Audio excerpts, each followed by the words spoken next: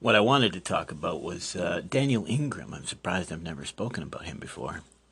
I was looking at Culadasa, uh, the interview, and I noticed that uh, Daniel did a an interview recently. I'm totally out of it here. Spend all my days studying, not uh, and and avoiding the social media. Certainly, the spiritual social media is absolutely ridiculous. and I find out that Daniel's actually having to defend himself again, again from a from someone who I wouldn't even take serious, anyways.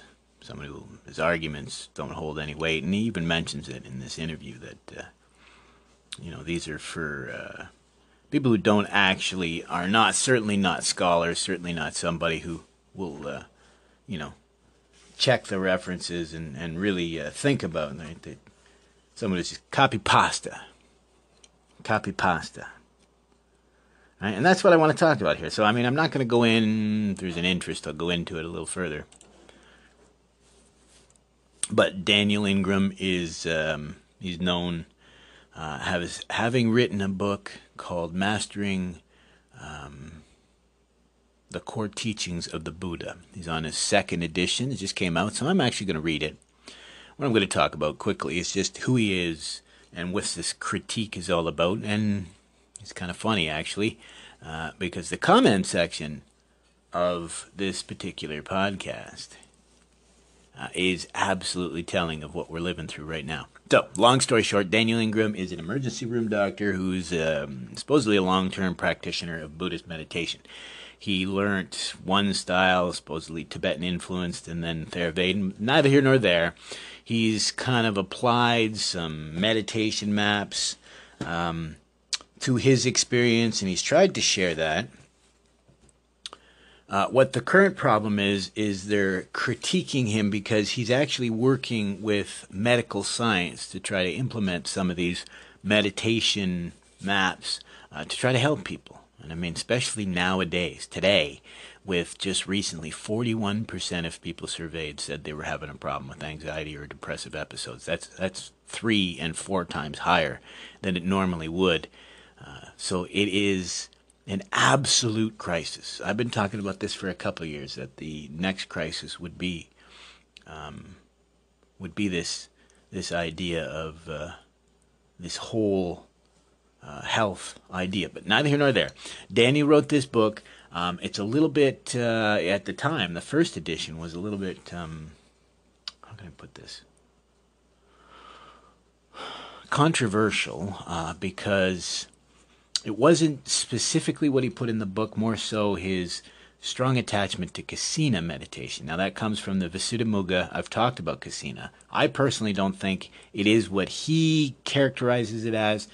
Uh, and there's the first critique that no one ever talks about, again, because we're not dealing with, with, I think, because we're not dealing with scholars. So they, you could certainly critique this gentleman on the fact that he uses kasina meditation uh, for pleasure. He regularly will talk about how he will use kasina and oh i get these enjoyable uh, hallucinations and these colors and lights and you know they sit around and they're having a good time right?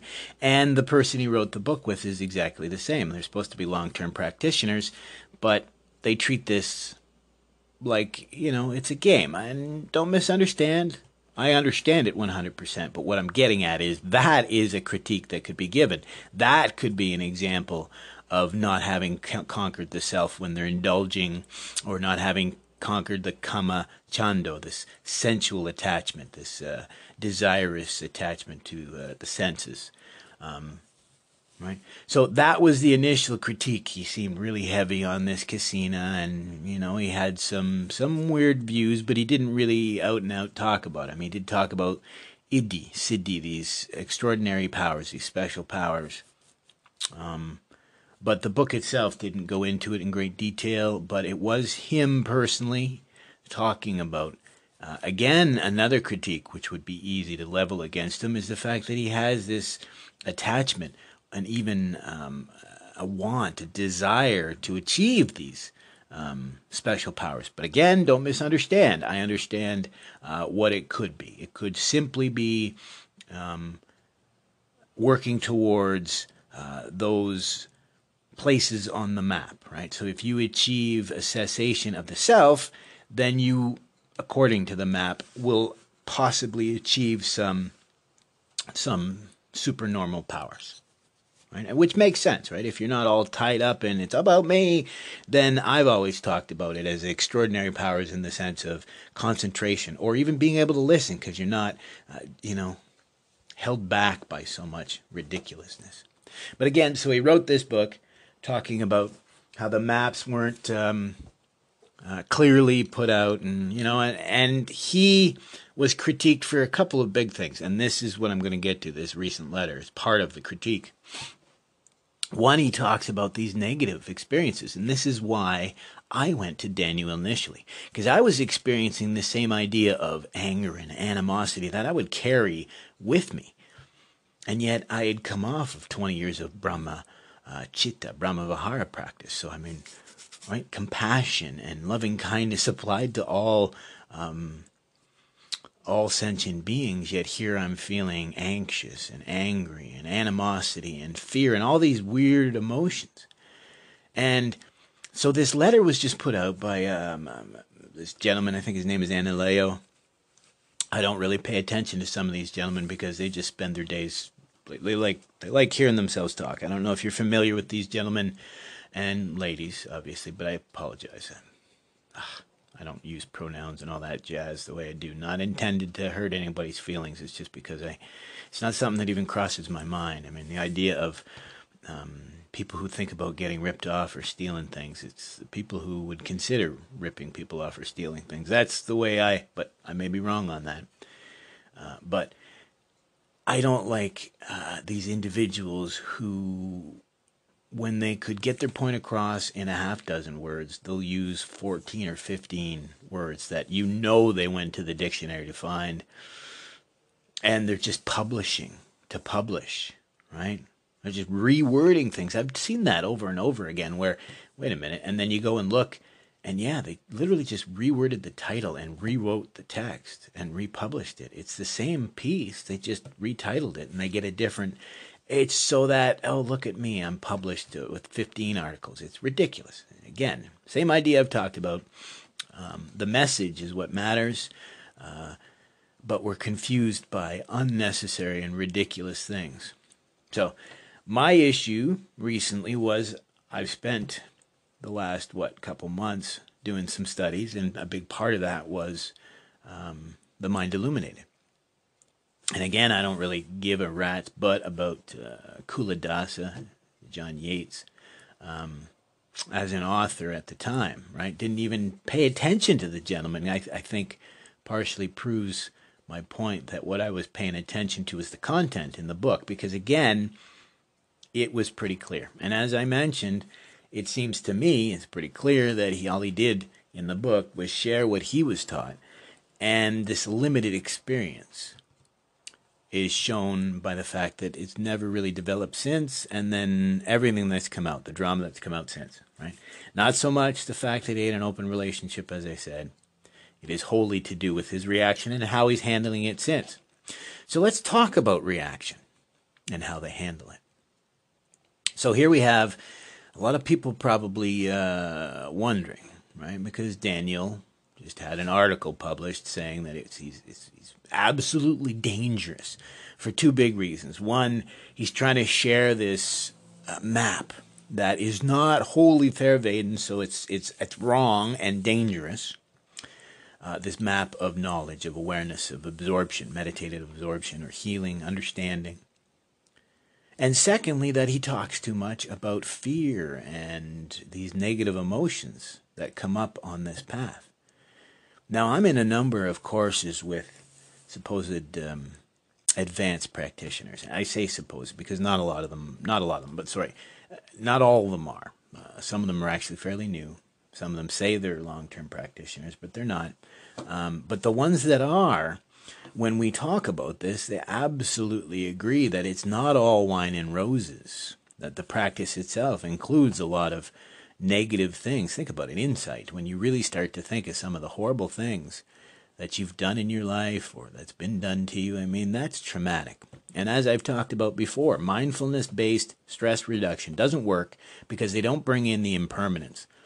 Um, and emptiness and dependent origination. That's the same thing uh, from Buddhism. So when you're challenging your anxieties, right, which is the same idea as insight, when you're challenging your anxieties and you don't realize their dependent nature, meaning they come from this or that, like the example I gave when um, a well-known Theravada Vipassana uh, practitioner and making millions, I'm sure, at this. And someone asks about feelings of uh, revenge in a divorce.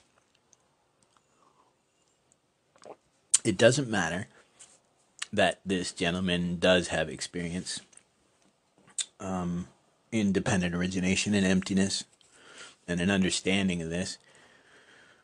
It's in the Theravada strictly. I mean, when you talk about revenge feelings, it's simply, hey, you know, those are based on your jealousy and your feelings of what you were hoping for, right? These um, future hopes and dreams that you had that have been dashed, right? But instead, the recommendation was, well, I like to take those sorts of feelings on long term retreats and make room to compost those. Absolutely ridiculous. Absolutely ridiculous. Not helping anyone.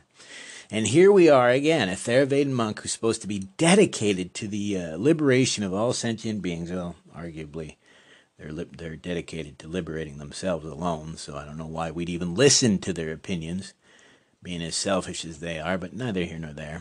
A little bit of a joke, but here he is saying that it's dangerous to teach people meditation. It's dangerous to teach people about the fear and, and some of these negative emotions that might come up in meditation that to me, as a long term practitioner, right away, I'm like, dude, I'm not listening to you ever because that's why I came to Daniel in the first place.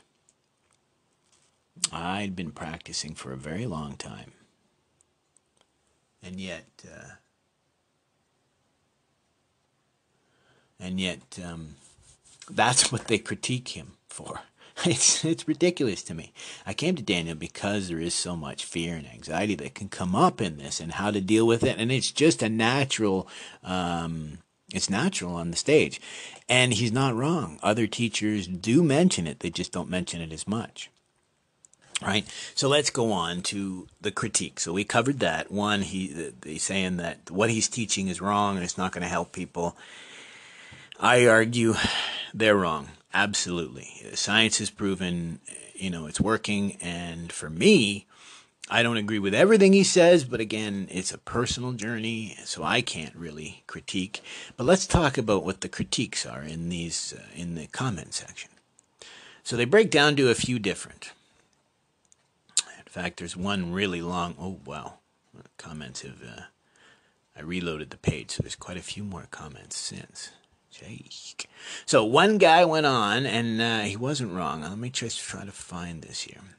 He went on and on and on about uh, his critique. Um, he had me at first.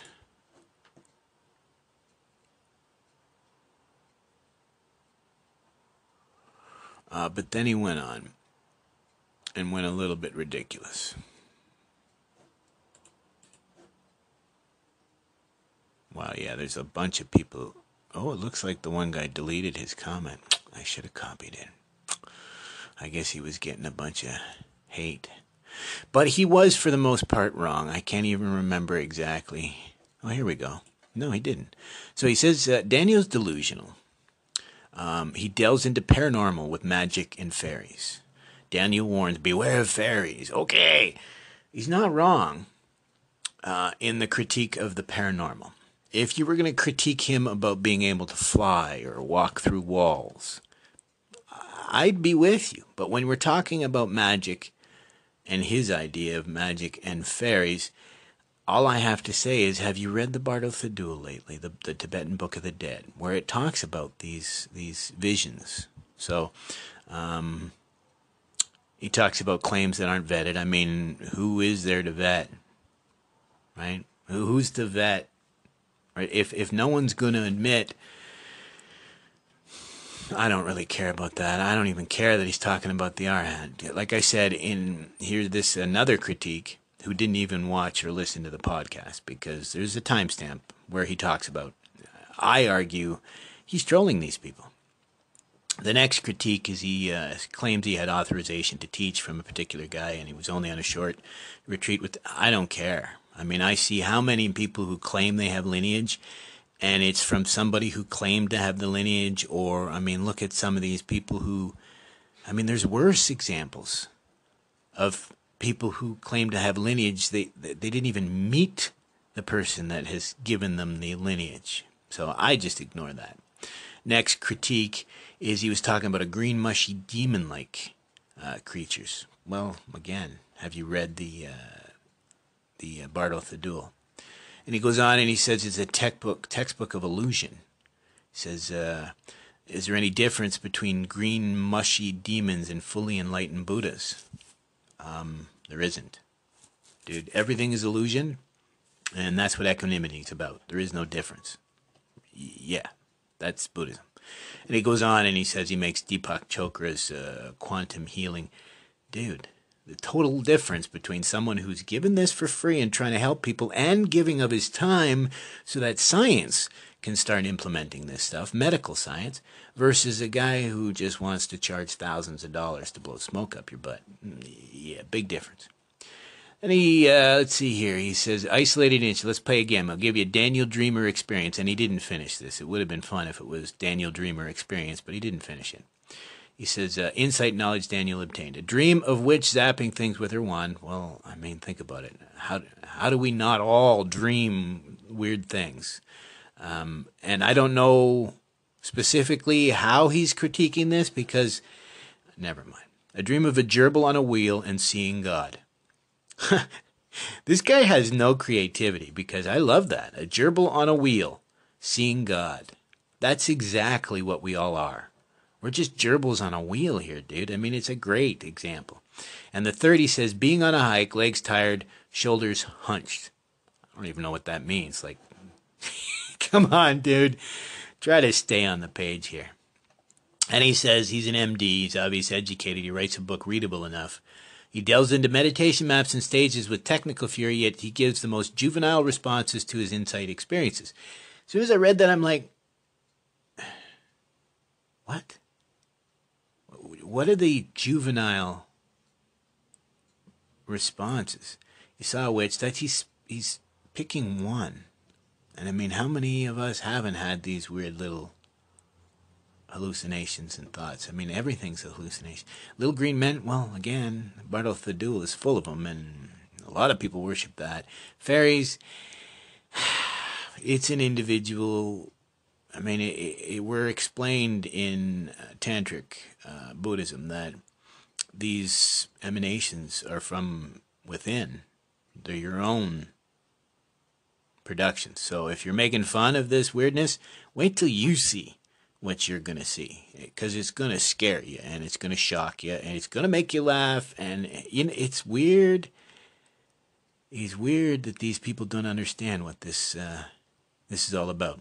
So the big one here is he says, uh, and this was the critique of Analayo. This was the critique in the podcast. It was a critique in a number of times in the chat, and yet he's so wrong. He says, No joke, Ingram gives watching TV as leading to high equanimity. Let me remind you the title of his book, Mastering the Core Teachings of the Buddha, an unusually hardcore Dharma book. Hardcore, huh? Jeez this guy is not all there, or he's just trying to be facetious again, because think about it. He's not, he never did say. If you'd read the book, again, I think this is one of the guys, uh, just like the others. Like, why would you critique something you haven't even read? Like, come on, smarten up. It'll only take you a weekend to read it. Smarten up. But, and this is what I would say to this. He wasn't saying that practice is sitting in front of the TV, but I myself, as I've explained before, I never sat. Um, like most do, because I couldn't. Right? I was so tormented between chronic pain and illness and injuries and then trauma and deep, deep emotional and physical scars So for me, I took that off the mat and carried it into everyday life. So for me, I don't read this as a jaded hater.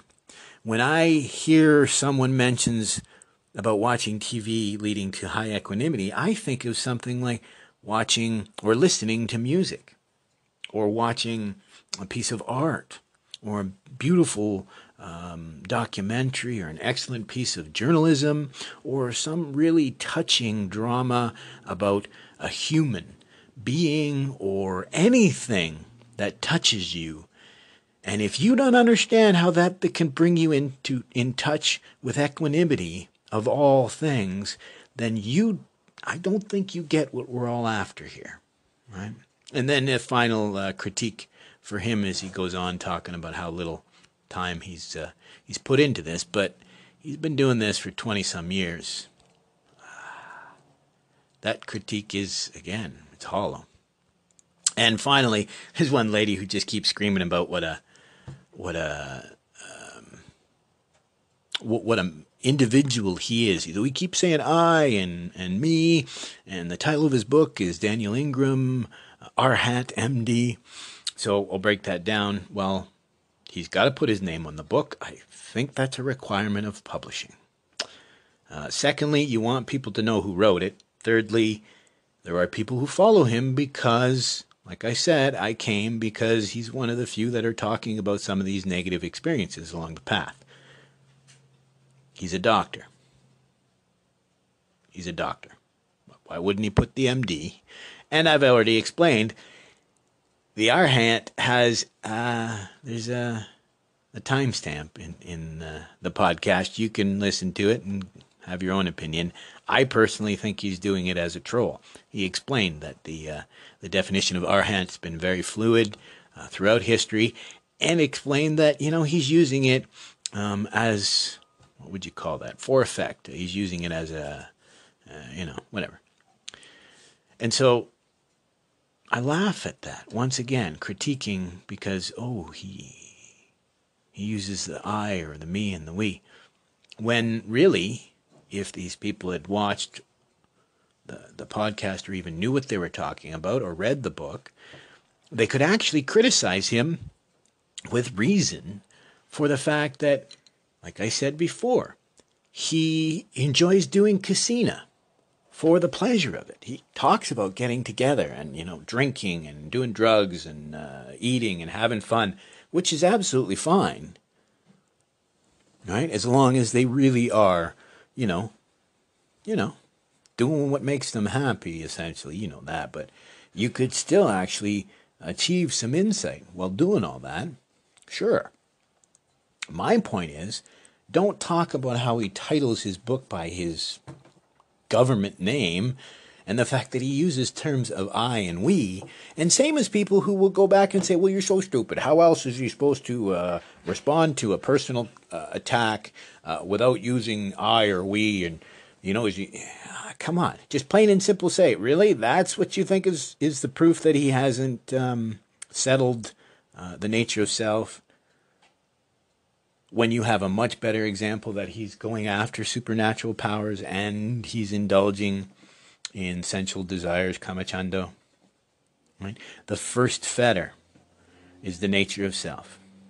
But here's where you're seeing that these people just don't get it. That's the problem.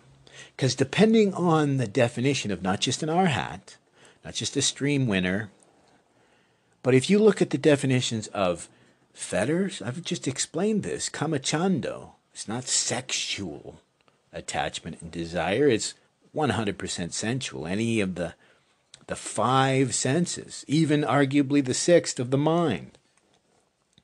But you're not going to get that commonly. But more importantly, that first fetter is not about subduing the self completely. It's understanding the nature of self using dependent origination, seeing the emptiness of self. Even Theravadins know this because I did my research and they 100% attribute uh, emptiness to the nature of self and vice versa, right? Because I did this search and I said it seems weird that these Theravadins will push, push, push to the fourth jhana, talk about residing in equanimity and mindfulness, and yet never once talk about the importance of anicca, an, anatta.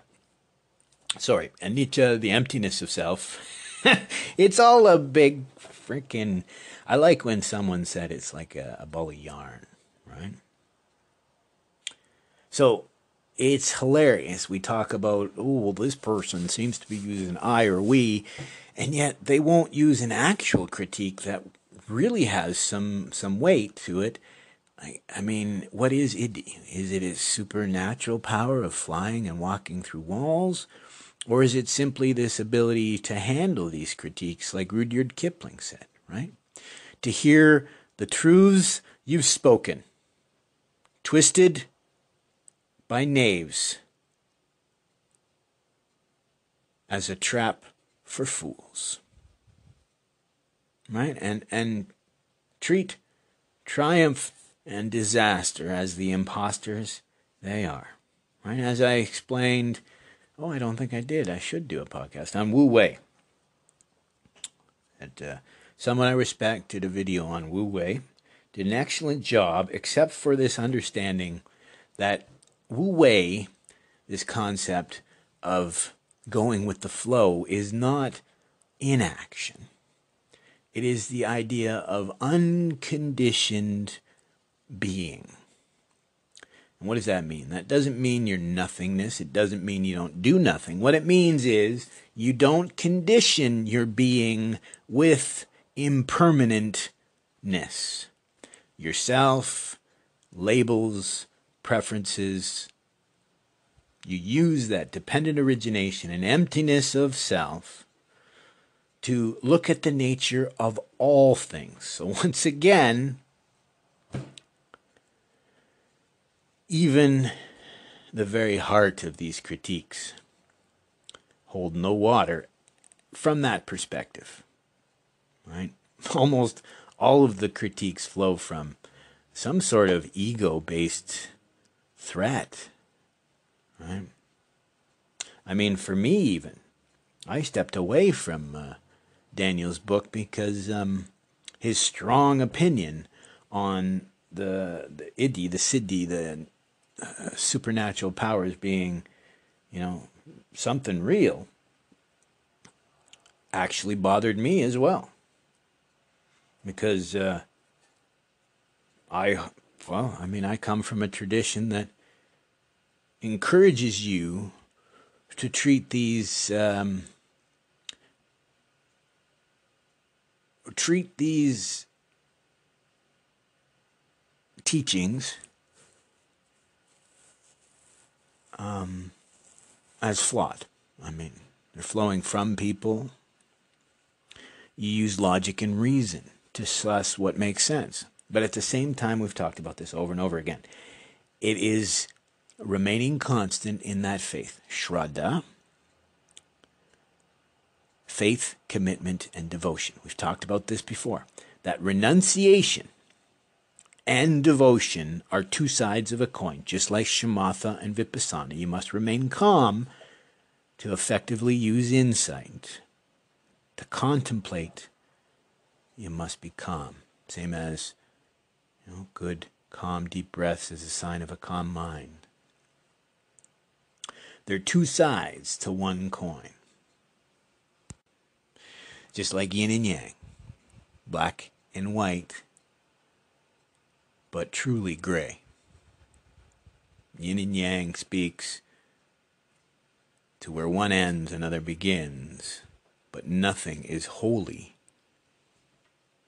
itself. It's it truly is.